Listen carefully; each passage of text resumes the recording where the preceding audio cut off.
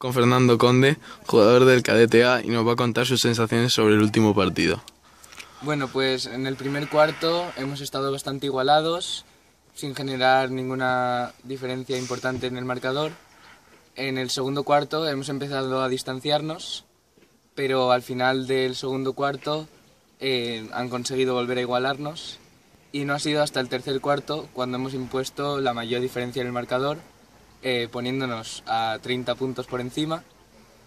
Eh, al final, en el último cuarto, eh, nos hemos relajado y han conseguido remontarnos poniéndonos solo a 18 puntos por encima suya. cabe destacar en el partido el tercer cuarto, un buen trabajo por parte de todo el equipo.